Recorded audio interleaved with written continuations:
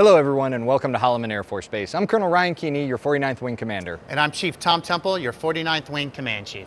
Holloman is located in New Mexico's Tularosa Basin between the Sacramento and San Andres mountain ranges. This installation has been a proud member of the local community since 1942 when we were originally established as the Alamogordo Army Air Base. Yes, sir. It is currently home to the MQ-9 Reaper remotely piloted aircraft F-16 Viper, as well as 30 proud tenant units. Today, Holloman Air Force Base and the 49th Wing continue to serve at the forefront of military operations, with its F-16 and MQ-9 training operations supplying the Air Force's growing need for qualified combat aircrew and maintenance technicians.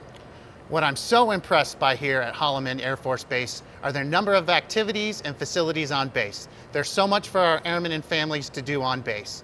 We have a movie theater, two pools, a bowling alley, restaurants, and soon we'll have a drive-in movie theater and ATV trail. My family and I have cherished our time here. We've been able to enjoy the outdoors, going out hiking, seeing the natural beauty of the desert southwest.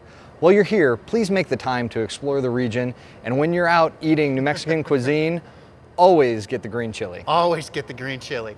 Our goal is to provide you with a mission, base support, and leadership that makes your assignment here a memorable one for you and your family. Absolutely. At the end of the orientation, Chief Temple and I are going to come back. We'll be here to answer your questions. Thanks for joining us today. We're thrilled to welcome you to the Team Holloman family.